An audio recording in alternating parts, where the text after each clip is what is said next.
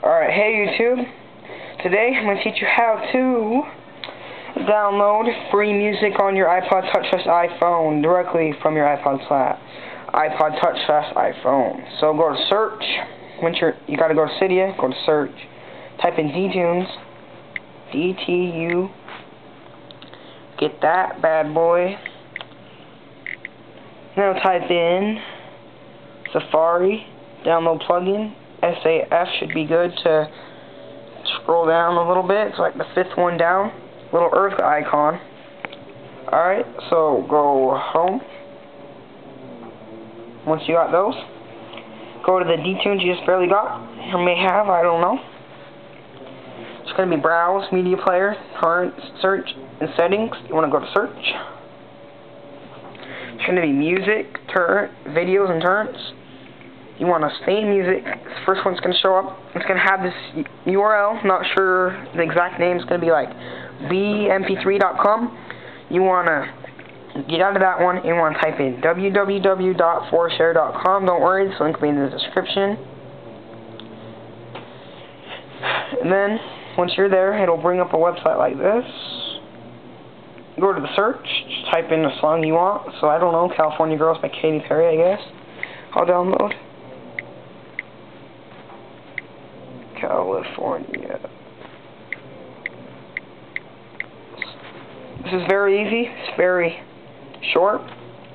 Okay, you want to go to the one, probably the first one. Some links are broken, so go to the next one if it doesn't work. Make sure it has a little MP3 sign right on the left. I know you can't see that, but it's orange. There's different kinds, like RAW and stuff. Alright, so click on the title. It'll bring you to a website like this. The more downloads you get, the more it's going to make you wait. But oh well, free music. So as we're waiting, we're just going to wait. And that doesn't do anything. It's going to slide up once it's done.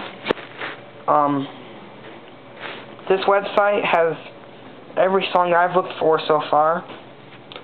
I know it doesn't have every song, but it has every song I've searched for. Three, two, one. Alright, see that just slid up? Click download file.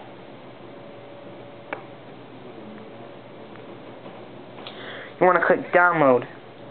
I downloaded so I don't want to download it again. It'll take about 45 seconds, very fast. And once that's done, go to browse. It's gonna and the download is gonna be. I already have that stuff downloaded, but so it's in the middle. So you hit. Whoa. Sorry about that. So go to browse, and you hit the song you downloaded, and then